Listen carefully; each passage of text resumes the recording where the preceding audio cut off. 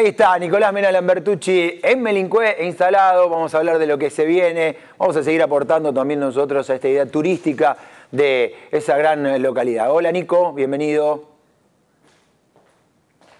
Hola Eduardo, muy buenos días. Eh, un día diríamos casi espectacular porque bueno, nos da una tregua el, frío, pero bueno, sería antes de la tormenta de, Santa Rosa.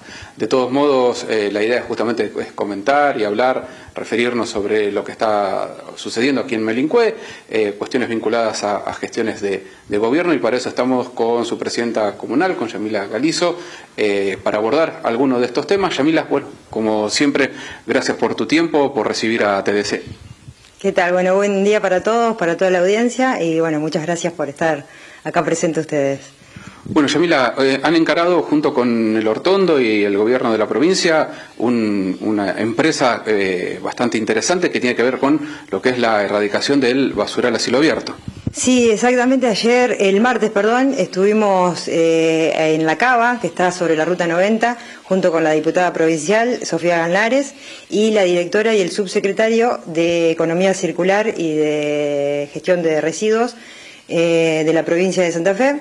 Y bueno, junto también con eh, la presidenta comunal del Hortondo, María Isabel Bosco, eh, bueno, tratando esto de eh, poder erradicar, eh, erradicar, perdón, paulatinamente este basural en la ruta 90, que bueno, es la verdad que ya para el medio ambiente es malo, también por el tema del tránsito, de la seguridad vial, tenerlo al lado de una ruta, bueno, ya se torna cada vez más, más riesgoso. ¿Y, ya han estipulado algún plan, alguna estrategia? Eh, justamente teniendo en cuenta lo que es separación de residuos, eh, algún trabajo conjunto con la otra comuna. Sí, junto con la comuna del Hortondo estamos trabajando en un plan integral de gestión de residuos que va desde la recolección en cada en la calle, digamos, hasta la disposición final.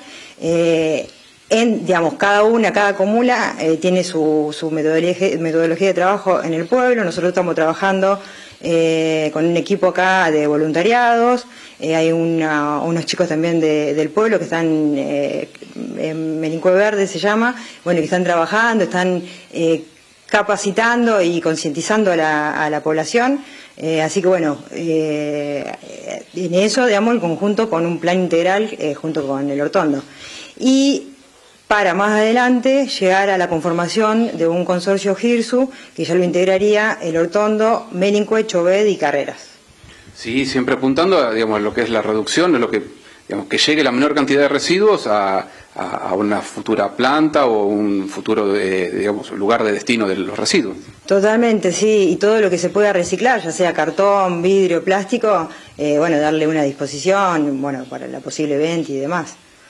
Bien, y en materia de gestión también, eh, eh, digamos, están justamente trabajando mucho con la provincia en lo que es eh, obras públicas y en este caso vinculado a la pavimentación. Sí, continuamos con la pavimentación, ya está finalizada el pavimento de calle Alberdi entre O'Higgins y, San Martín. ya está próxima a abrirse para el tránsito y vamos a continuar con Alberdi, digamos, para este lado hasta Maipú. Son cuatro cuadras más eh, que van a ser por fondos propios y eh, con el incluir 2024 y el plan de obras urbanas del Ministerio de Obras Públicas. digamos, obras que, justamente son muy necesarias por eh, las consecuencias de, de, las lluvias, de las intensas lluvias que hubo también a principio de año. Sí, sí, son obras necesarias y obras que, bueno, como siempre digo, fueron olvidadas en el pueblo. Hace más de 47 años que no se hace una, una cuadra de hormigón sí se asfaltaron, pero no de hormigón, que bueno, tiene una mayor durabilidad. Eh, y bueno, y también continuamos con el plan de, iluminación, eh, esta vez toca el barrio San Urbano, atrás de la vía, eh, también tenemos que próxima, calculo que en 15 días ya vamos a arrancar a la colocación de las luminarias.